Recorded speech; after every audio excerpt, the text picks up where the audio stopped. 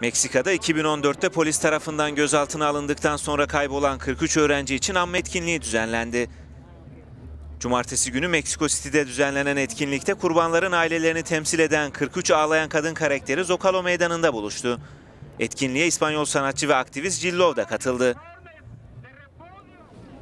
İspanyolca'da La Llorona adı verilen ağlayan kadın figürü Latin Amerika kültüründe çocuğunu kaybeden annenin hayaletini temsil ediyor. Iguala kentinde okul yolunda polis tarafından alıkonulan öğrencilerin uyuşturucu kartellerine teslim edilerek öldürüldüğü sanılıyor.